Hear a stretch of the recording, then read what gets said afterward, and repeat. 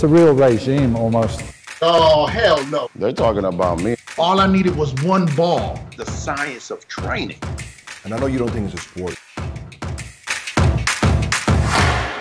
What do you recommend eating before the workout and after the workout? Yeah, uh, you see, uh, I have three phases in a day for all of us. For you, if uh, you're gonna look at uh, ask me for advice for a big Ramy, Mr. Olympia, or you know for a bikini girl that is competing, what do you want to accomplish during a day in a 24-hour period? You have a possibility to maybe uh, build more muscle uh, and lose some fat, and then maintain. Okay, if you're happy with your body, you just want to maintain it. That's a maintenance phase. If you still have some body fat to lose, okay, we're gonna have a fat burning phase. And then if you need a, a muscle to build, you're gonna have an anabolic phase. So how do you do this? Like I said, each meal, every three hours, you can do something to your body. You know, first thing in the morning when I wake up, oh, that's perfect opportunity to lose some body fat because you have overnight fasting, you have no nutrients in your in your bloodstream, really. And then if you do the cardiovascular type of training that uses fatty acids as energy, not glucose like a muscle training, fatty acids, and you didn't eat any fat, right? Then only fatty acids that can be used would be your, your body fat. So you're going to initiate fat burning. Great, this is my fat burning phase. They can maybe re- be repeated one more time during a day, or I know that Jay Cutler used to do even three, uh, you know, cardio sessions. So cardio, purpose of cardio on no uh, on empty stomach would be to burn body fat. Great, but the remainder we need to maintain amount of calories, and amount of protein to maintain our muscle, so we don't catabolize it. We do want to catabolize body fat, but we don't want to catabolize muscle. So you have a frequent uh, protein uh, uh, meals, like I said, and if you listen to me, I also do uh, essential amino acids and glutamine in between meals to make sure that I have all the building material. But now I choose my energy nutrient. Okay, uh, I am ectomorphic. I don't need to lose anything. I am hard gainer. I can give you both carbohydrates and fat in each meal. Those are the lucky ones. Okay, you are endomorphic or you're, you're prone to uh, put the body fat. No, I won't give you. I will give you just good fats, and I would uh, give you the caloric requirement. I would give you a deficit. I would give you as required because you already created fat loss initially. So now I give you good fats, uh, avocado, maybe whole eggs, uh, red red meat, uh, or olive oil, avocado. You know, good fats. Okay, nuts of any kind. Next meal, okay, for three hours, you again calculate how much protein, how much carbs you would need. Okay, this is a meal before the workout. Now, for a workout, we're going to use glucose. So carbohydrates would be beneficial.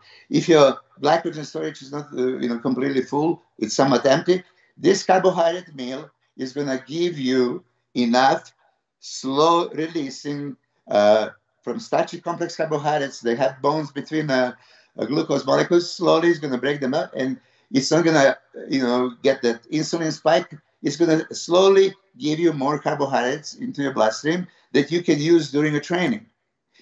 Now, during a training, you know, now this is my anabolic phase of a day. This is when I want to insert everything into the muscle. This is when I do my famous pre, intra, post workout uh, shakes. Uh, an idea with this is I, I put pre digested already in supplemental form. Uh, so your body doesn't have to bring it to the digestive system and break it down. All the uh, supplements that would make a difference, like a creatine, like a glutamine, uh, essential amino acids, BCA, beta-alanine, uh, carnitine, citrulline, everything that is beneficial, I would put in a pre-workout, uh, 30 minutes before a workout, and then inter-workout, uh, I would be sipping in between sets. So you uh, maintain um, high uh, level of uh, circulating amino acids and a glucose. Okay, uh, so you need to put some carbohydrate source into the workout to maintain this high glycemia, and that carbohydrate is going to ensure release of insulin from the pancreas, and insulin is going to be in the blood, and blood is in, in the muscle. So every time you do any muscle contraction, it's uh, uptake of whatever is in this uh, blood straight into the muscle, guaranteed. This is what I say is guaranteed. I didn't have a university uh, study that I can prove this. Obviously, it would cost too much. But uh, uh, as I say, um, ton of theory doesn't equal a ton of uh, practice. You know, do the practice. And you know, there's actually people say one gram of practice is heavier than ton of theory. This is what I did in my Coliseum University with all the you know, pros, with all the amateurs, and then uh, I do them. I, I, make them do it without it, and then I make them do it with it, and the difference with my modeling. So to answer just completely a question, so inter workout, I need some simple carbs with my essential amino acids, BCAAs, and everything else. It just the purpose of that is pushing into the muscle. Okay, post workout, I will have a traditional post workout shake with the easy absorbable whey protein that's going to break down into amino acids within like 20 minutes. And now you need some kind of carbohydrates. I like to eat my carbs rather than, than drink it at that point because carbs are enjoyable. You know, proteins are not so good, good tasting, but the carbs we all love. So you, at the post-workout shake now you can have pancakes. You can have, um, you know, the the uh, choice of you know fruit, uh, dates, bananas, uh, pineapple, uh, whatever. And they, they would say, but you don't want a fructose. Well, glycogen capacity uh, in, a, in a body is 70% muscle, 30% liver. So you still need to replenish liver glycogen anyway. So fructose is okay, you know, but majority should come from uh, glucose sources. And then my next meal would be typical uh, protein bodybuilding uh, meal, chicken and rice, um, or sweet potato, potato, whatever else. So you will have still lean protein, uh, and a complex carbohydrate. They're going to keep replenishing your glycogen for hours to come.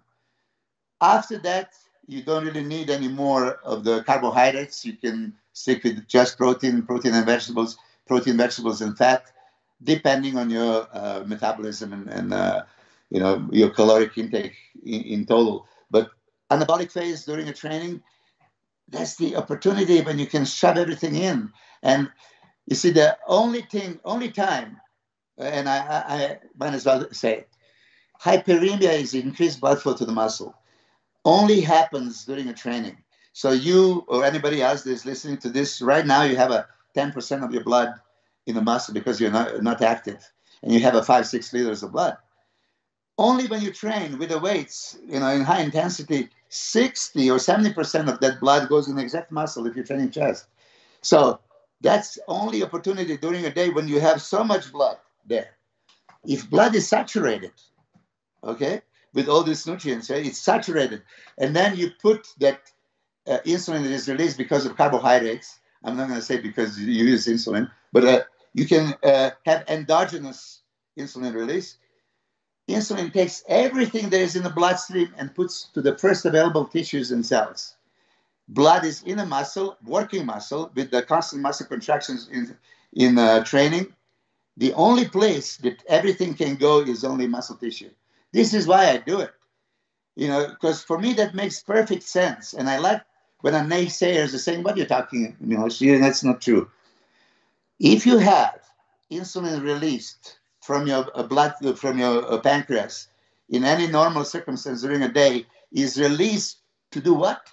to take glucose out of the bloodstream to you know bring down the uh, normal blood sugar level because hyperglycemia is toxic you know it can create uh, retinopathy neuropathy all these kinds so the reason why pancreas uh, release insulin is to take it out take it out take it out well now blood is in the muscle working muscle and then glucose can go straight into the muscle amino acids can go straight to the muscle beta-alanine citrulline l-carnitine Everything can be shoved in.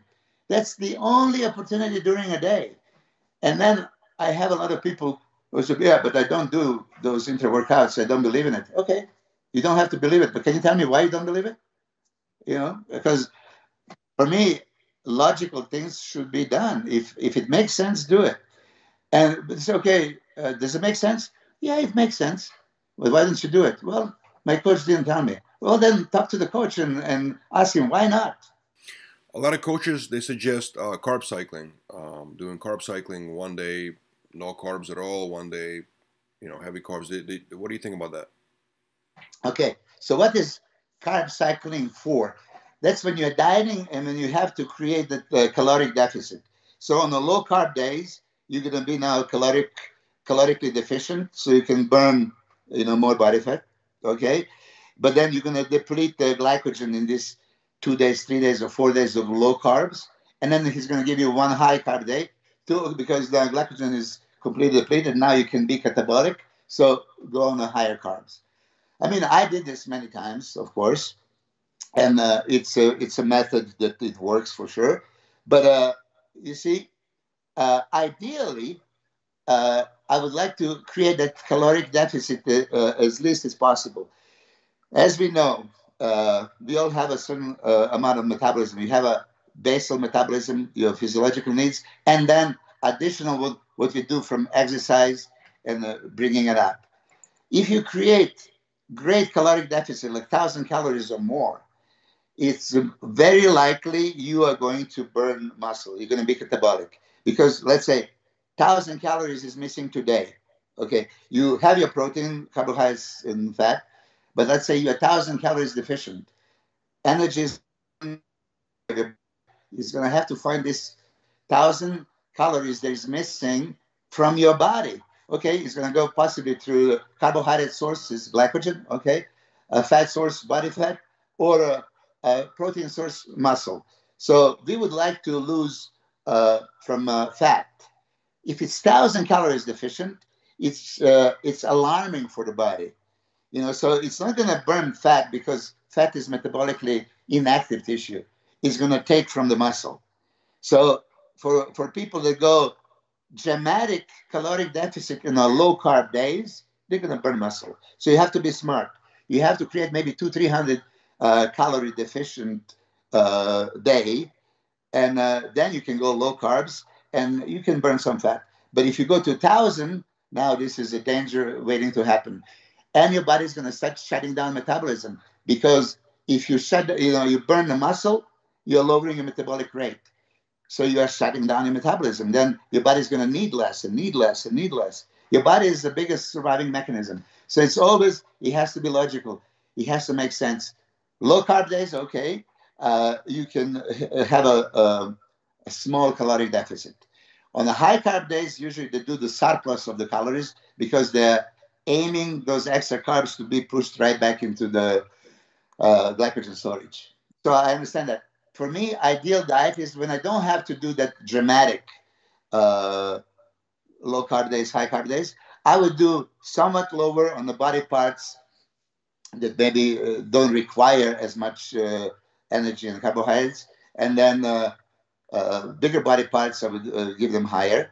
Okay, I would much rather give them um, right amount of calories and carbs and everything, and create the extra fat burning from extra cardio and keep their carbs as they need it. This is my method. But it's the accepted method all over the world. I did it many times. Uh, I don't do it really right now so often because I get my guys in shape, like I was in shape uh, for me, and then I, I cruise, uh, you know, through the whole season.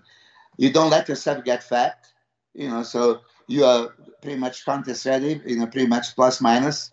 You know, you can up the calories a little bit, and then you just uh, can easily peak for any show.